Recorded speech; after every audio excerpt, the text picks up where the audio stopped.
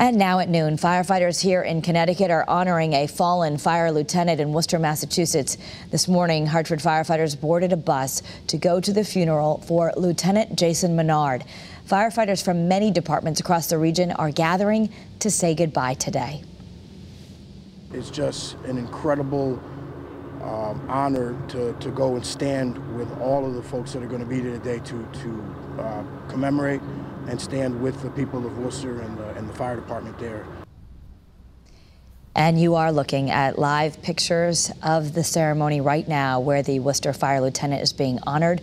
Lieutenant Menard died while saving two of his colleagues from a burning home last Wednesday.